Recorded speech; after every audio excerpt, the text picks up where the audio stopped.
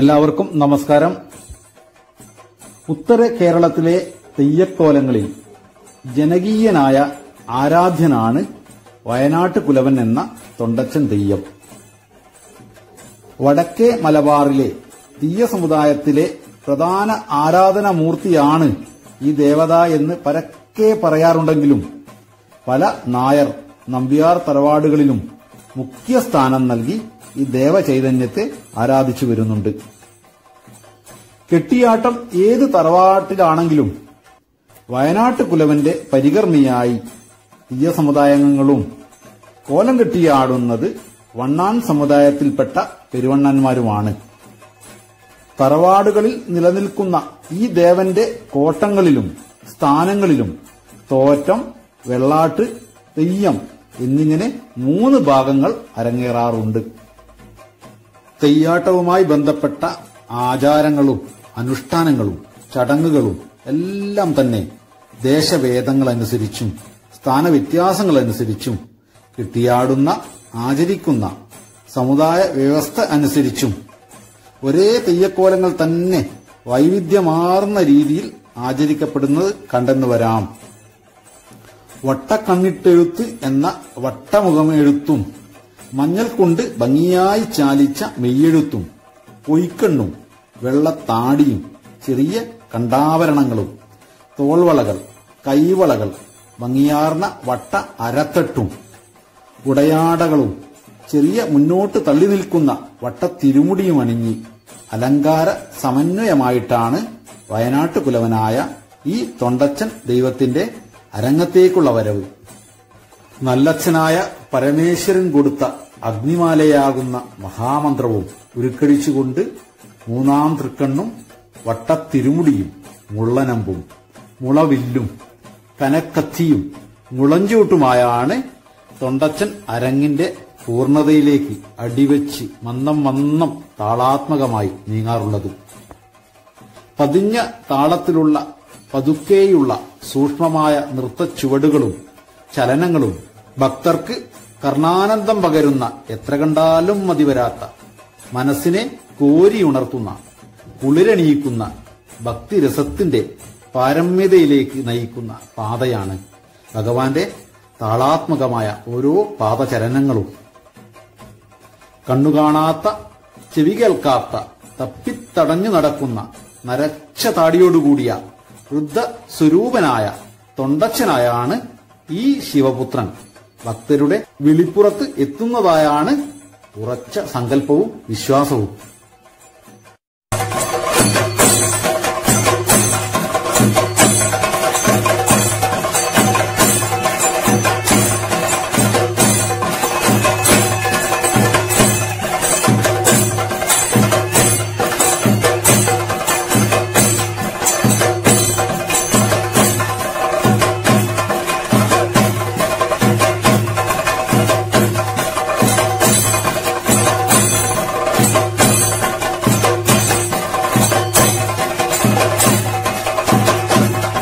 ഭഗവാന്റെ തിരുവവതാരത്തെ സംബന്ധിച്ച പുരാവൃത്തം വളരെ ശ്രദ്ധേയമാണ്. ഒരിക്കൽ ശിവപാർവതിമാർ വേടവേഷം ധരിച്ച് കാടുകളിൽ മതിച്ചു നടക്കുന്നതിനിടയിൽ ഇണ ചേരുന്ന രണ്ട് പുലികളെ കാണാൻ ഇടയായി ആ സമയം കാമാതുരനായ ശിവശങ്കരൻ പാർവതിയെ വാരിപ്പുണർന്നു. ലജ്ജാവതിയായ ദേവി മാറി നിന്നപ്പോൾ മഹാദേവന് ഇന്ദ്രിയ സ്ഖലനം ഉണ്ടാവുകയും ഭൂമിയിൽ പതിച്ച ആ ദിവ്യ ശിവബീജത്തിൽ നിന്നും മൂന്ന് ദിവ്യമായ കരിന്തെങ്ങുകൾ മുളച്ചു പൊങ്ങിയെന്നും പറയപ്പെടുന്നു. ഈ മൂന്ന് വൃക്ഷങ്ങൾക്കും ഭഗവാൻ കരിമകൾ തിരുമകൾ തേന്മകൾ എന്നീ മൂന്ന് പേരും നൽകി. അതിനിടയിൽ തേന്മകളായ കരിന്തെങ്ങിന്റെ മുരടിൽ നിന്നും ആ ചുവട്ടിൽ നിന്നും ദിവ്യമായ മധു അഥവാ കള്ള് ഊറി വരുന്നതായി ഭഗവാന്റെ ശ്രദ്ധയിൽപ്പെട്ടു. മറ്റൊരു ദിവസം വേട്ടയ്ക്ക് കാട്ടിലേക്ക് വന്ന വേടരൂപനായ ശിവശങ്കരൻ തേന്മകളായ കരിന്തെങ്ങിന്റെ അടിഭാഗത്തു നിന്നും വരുന്ന കള്ളു ശേഖരിച്ച് മതിയാവോളം പാനം ചെയ്ത് മത്ത് തലക്ക് പിടിച്ച് മതിച്ച് മത്തവിലാസം ശിവഭ്രാന്താടി എന്ന് പറയപ്പെടുന്നു. ഇതിന്റെ കാരണം മനസ്സാഗ്രഹിച്ച മാതാവ് പാർവതി മാതാവ് കരിന്തെങ്ങിന്റെ മുരടിലെ കീഴ്ഭാഗത്തെ മധുവിനെ തൃക്കയ്യാൽ തടവി മുകളിലേക്കുയർത്തി പൂങ്കുലകളിലാക്കി അങ്ങനെ മുരടിൽ നിന്നും ഉൽപ്പാദിപ്പിച്ചിരുന്ന മധു തെങ്ങിന്റെ മണ്ടയിലെ പൂങ്കുലയിൽ നിന്ന് ഉൽപ്പാദിപ്പിക്കുന്ന കുലപ്പാലായി പരിണമിച്ചു. ഇതേപോലെ വീണ്ടും വേട്ടയ്ക്കായി കാട്ടിലിറങ്ങിയ പരമേശ്വരൻ മധു നുകരാനുള്ള മോഹവുമായി. തേന്മകളായ കരിന്തെങ്ങിന്റെ മുരടിലെത്തിയപ്പോൾ കള്ള് കാണാതെ വിഷണ്ണനായി. തന്റെ ശക്തിയായ പാർവതി കള്ളിനെ തടവി പൂങ്കുലകളിലാക്കിയ വിവരം മനസ്സാഗ്രഹിച്ച ദേവൻ ക്രുദ്ധനായി. ദേഷ്യത്തോടെ തന്റെ ജടയിൽ നിന്നും മുടി ഇഴകൾ പിഴുതെടുത്ത് കോപത്തോടെ ഇടതു തുടയിൽ ആഞ്ഞടിച്ചു. ആ സമയം ഭഗവാന്റെ ഇടതു തുടയിൽ നിന്നും സൂര്യ തേജസ്സോടെ ഒരു തിരുസ്വരൂപം ജന്മം കൊണ്ടു. ആ പൊന്മകനെ തന്റെ ഹൃദയത്തോട് ചേർത്ത് വാരിപ്പുണർന്ന് ദിവ്യൻ എന്ന നാമവും നൽകി കൂടെ തെങ്ങിന്റെ മണ്ടയിൽ നിന്നും കള്ളു ശേഖരിക്കാനുള്ള വിദ്യയും എല്ലാ വനങ്ങളിലും നായാടാനുള്ള അനുവാദവും അനുഗ്രഹിച്ചു നൽകി. ഈ ദിവ്യനായ പൊന്മകനാണ് പിൻകാലത്ത് വയനാട്ട് കുലവൻ എന്ന തൊണ്ടച്ചനായി കീർത്തി നേടിയത്. അന്ധകാരത്തിൽപ്പെട്ട് ഉഴലുന്ന മാനവകുലത്തിന് വഴികാട്ടിയും. ഈ തൊഴിൽ അഥവാ ഈ പൂങ്കുലയിൽ നിന്നും കള്ള് ചെത്തിയെടുക്കുന്ന തൊഴിൽ കുലത്തൊഴിലാക്കിയവരുടെ കുലവമ്പൻ കൂടിയാണ് ഈ മൂർത്തി എന്ന് പ്രസിദ്ധം തന്നെ. എല്ലാ സ്ഥലത്തു നിന്നും മധു ശേഖരിക്കാനും വേട്ട നടത്താനും അനുവാദം കൊടുത്തെങ്കിലും കൈലാസത്തിനടുത്തുള്ള തന്റെ കേളീവനമായ മധുവനത്തിൽ പ്രവേശിച്ച് നായാട്ടു നടത്താനോ മധു ശേഖരിക്കാനോ മധു പാനം ചെയ്യാനോ പാടില്ലെന്ന് പരമേശ്വരൻ പൊന്മകനോട് പ്രത്യേകം നിർദ്ദേശിച്ചിരുന്നു. വിക്രമം നിറഞ്ഞ ഈ പൊന്മകൻ നല്ലച്ഛന്റെ വാക്കുകൾ ഗൗനിക്കാതെ മധുവനത്തിൽ തന്നെ കടന്നുകയറി പരമേശ്വരന് തയ്യാറാക്കി വച്ച മധു പാത്രം തന്നെ തുറന്നു നോക്കാൻ ധൈര്യം കാണിച്ചു. ഭഗവാന് ഒരുക്കി വെച്ച നൂറ്റെട്ട് മധു കുടങ്ങളും കുടിച്ചു കാലിയാക്കി എന്നും പറയുന്നുണ്ട്. ഈ സമയം തന്നെ പൊന്മകന്റെ രണ്ട് കണ്ണുകളും പൊട്ടി മധുപാതത്തിലേക്ക് വീണു. കൂടാതെ കേൾവിശക്തിയും പൂർണമായും നഷ്ടമായി. നല്ലച്ഛൻ നോക്കാൻ പാടില്ലെന്ന് വിലക്കിയ കണ്ണുകളും ഉപദേശം ചെവിക്കൊള്ളാത്ത കേൾവിയും ദിവ്യന് പൂർണമായും നഷ്ടമായി.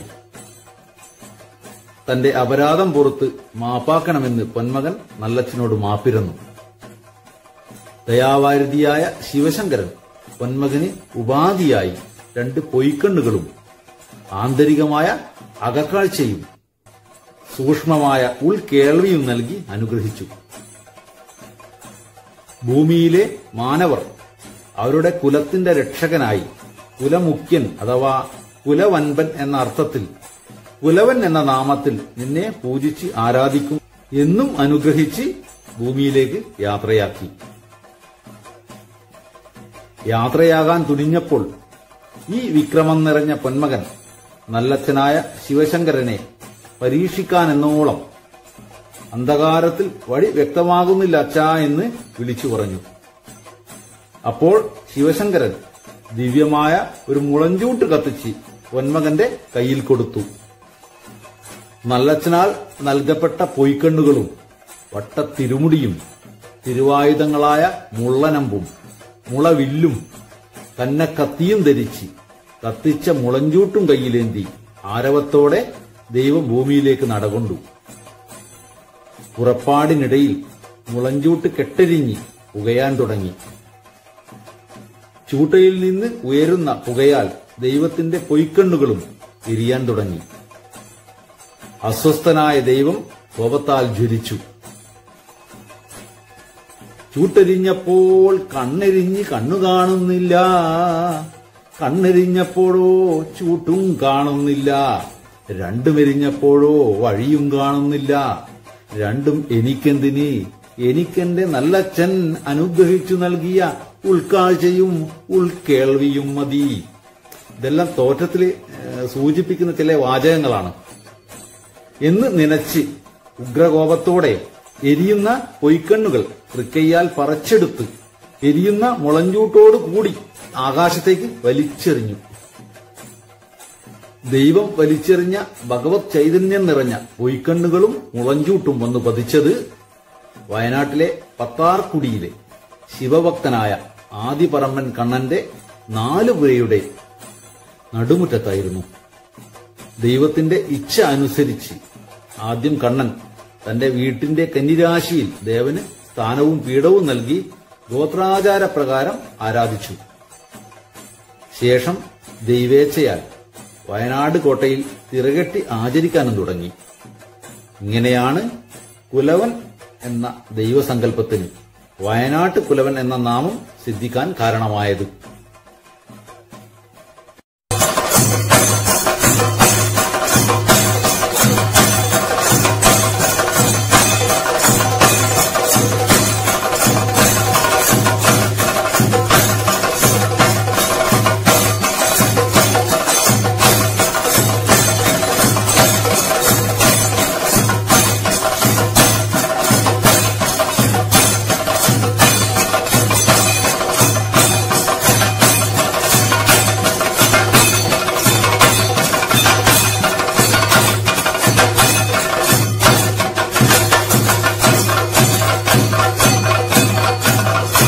ഒരിക്കൽ വയനാട്ട് കോട്ടയിൽ തിറയാട്ടം നടക്കുന്നതിനിടയിൽ അവിടെ എത്തപ്പെട്ട കോലത്തു നാട്ടുകാരായ ചിയഞ്ചേരി ഇല്ലം അകമ്പടി നായരുടെയും അദ്ദേഹത്തിന്റെ സഹായിയായ നരിയൻ കോരപ്പണിക്കരുടെയും പ്രാർത്ഥന സ്വീകരിച്ച ദൈവം അവരോടൊപ്പം മുളഞ്ചൂട്ടിന്റെ വെളിച്ചത്തിൽ കുടികൊണ്ട് മൂന്ന് ദിവസത്തിലധികം യാത്ര വേണ്ടുന്ന വഴിയെ വെറും മൂന്നേ മുക്കാൽ നാഴിക കൊണ്ട് താണ്ടി ഈട് ദേശമായ ഉയർന്ന ദേശമായ വയനാട്ടിൽ നിന്നും കീഴ് ദേശമായ താഴ്ന്ന ദേശമായ കോലത്ത് നാട്ടിലെ ആന്തിരിമാടത്തെത്തി തുടർന്ന് കോലത്ത് നാട്ടിലെയും നെടിയിരിപ്പ് സ്വരൂപത്തിലെയും പല സ്ഥലങ്ങളിലും ദൈവം ശേഷിപ്പെട്ടു അഥവാ കുടിയിരുന്നു.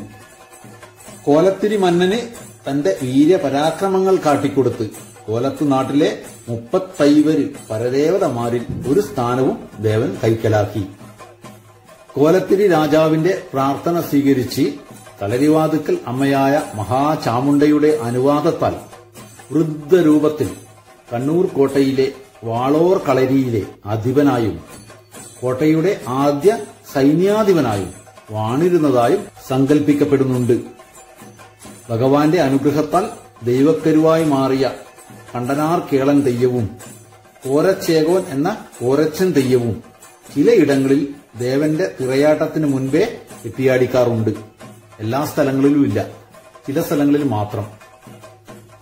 കോലത്ത് നാട്ടിന്റെ പല ഭാഗത്തും ഈ തെയ്യക്കോലത്തെ വർഷാവർഷം തക്കുറി തെയ്യമായി കെട്ടിയാടിച്ചു വരാറുണ്ടെങ്കിലും കാസർഗോഡ് ഭാഗത്ത് വയനാട്ട് കുലവന്റെ തെയ്യം കെട്ട് നിശ്ചിത വർഷങ്ങൾക്ക് ശേഷം പെരുങ്കളിയാട്ടം പോലെ വിപുലമായി ആഘോഷിക്കാറുണ്ട്.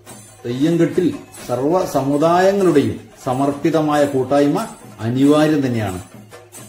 മൂന്ന് ദിവസം നീണ്ടു നിൽക്കുന്ന ഈ തെയ്യാഘോഷത്തിന് മുന്നോടിയായി മുഹൂർത്തം നിശ്ചയിക്കൽ പന്തൽ നിർമ്മാണം മറയൂട്ട് പൂവം അളക്കൽ അടയാളം കൊടുക്കൽ കലവറ നിറക്കൽ എന്നീ ചടങ്ങുകൾ അരങ്ങേറും. തെയ്യാട്ടത്തിനിടയിലെ പ്രധാന ചടങ്ങായ ബപ്പിടൽ ചടങ്ങ്. വീതം വെപ്പ് എന്നുള്ള അതിന്റെ വേറൊരു നാമാണ് ബപ്പിടൽ ചടങ്ങ്. തെയ്യാട്ടത്തിലെ ഒന്നാമത്തെ ദിവസം രാത്രി നായാട്ടിനായി കാട് കയറും രണ്ടാമത്തെ ദിവസം വേട്ടയാടിയ മൃഗങ്ങളുമായുള്ള തിരിച്ചുവരവ് ഘോഷായിരിക്കും. തുടർന്ന് നായാട്ടിറച്ചി പ്രത്യേക രീതിയിൽ കനലിൽ ചുട്ടെടുത്ത് ദേവന് നിവേദിച്ചതിന് ശേഷം പ്രത്യേക അവകാശികൾക്ക് പ്രസാദമായി വീതം വെക്കുന്നതാണ് ഈ ബപ്പിടൽ ചടങ്ങ്. ഇപ്പോൾ പല സ്ഥലങ്ങളിലും അമ്പെയ്തുകൊണ്ട് പ്രതീകാത്മകമായി നായാട്ട് നടത്തി. തേങ്ങാപ്പൂളും ചുട്ടടയും നായാട്ട് ഇറച്ചിയായി സങ്കല്പിച്ച് ചുട്ടെടുത്താണ് ഈ ചടങ്ങ് നടത്താറ്. ജന്തുബലിക്ക് പകരം കൂസ്മാണ്ട ബലിയൊക്കെയാണ് പ്രതീകാത്മകമായി ഇപ്പോൾ സമർപ്പിക്കാറ്. കോരച്ചന്റെയും കണ്ടനാർ കേളൻ തിറയുള്ള സ്ഥലത്ത് ആ തിറകൾ നടന്നതിന് ശേഷമാണ് വയനാട്ട് കുലവിന്റെ തെയ്യപ്പുറപ്പാട്. എത്ര കണ്ടാലും മതിവരാത്ത ചലനങ്ങളോടുകൂടിയാണ് ഈ ദൈവത്തിന്റെ അരങ്ങത്തേക്കുള്ള വരവ്. ഭഗവാനോടൊപ്പം ഉറഞ്ഞു തുള്ളുന്ന വെളിച്ചപ്പാടന്മാരെയും കാണാം. തിരുമുറ്റത്ത് വടക്ക് ഭാഗത്ത് കെടാതെ എരിയുന്ന കനൽ കൂമ്പാരം ഉണ്ടായിരിക്കണം. ഇവിടെ നിന്നാണ് ഭഗവാന് സമർപ്പിക്കേണ്ട നിവേദ്യം ചുട്ടെടുക്കേണ്ടത്. കർണാനന്ദം പകരുന്ന ചൂട്ടൊപ്പിക്കൽ ആ ചൂട്ടുമായിട്ടുള്ള ആട്ടം വളരെ ഹൃദയാനന്ദം പകരുന്ന ഒരു കാഴ്ചയാണ്. ബോനം കൊടുക്കൽ എന്ന വാചനം കൊടുക്കൽ. മുമ്പേ സ്ഥാനം പറച്ചിൽ.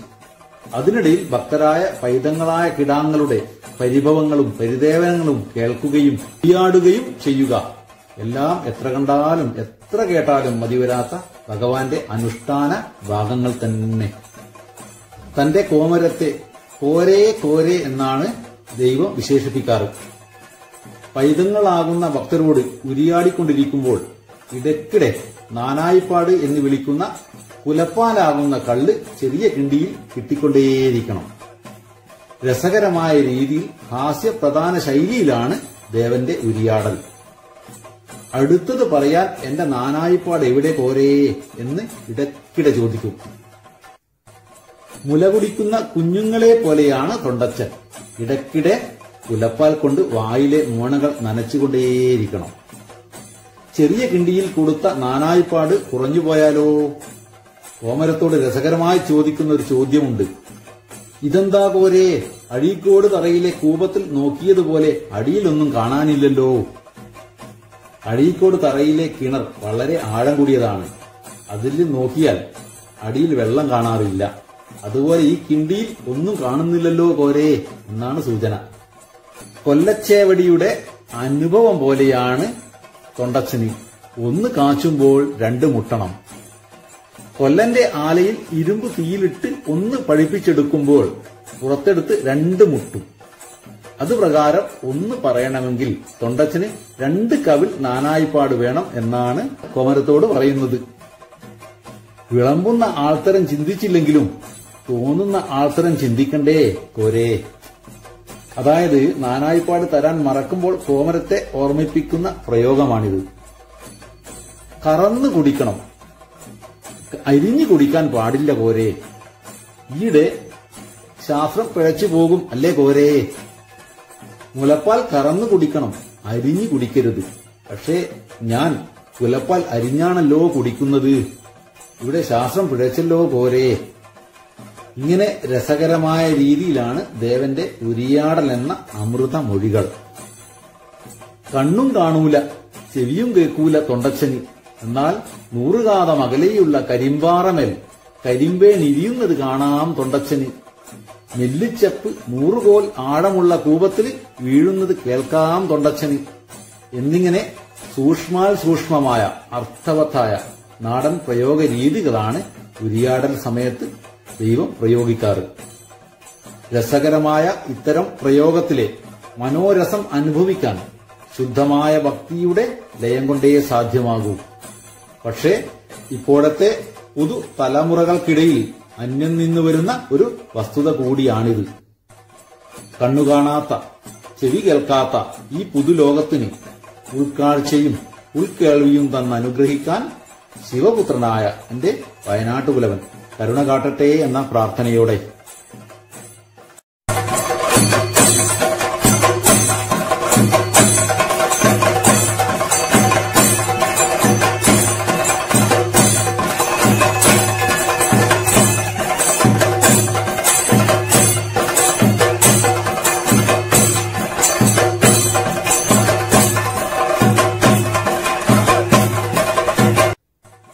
ഈ ദേവവിശേഷം എല്ലാവർക്കും ഇഷ്ടമായെന്ന് കരുതട്ടെ.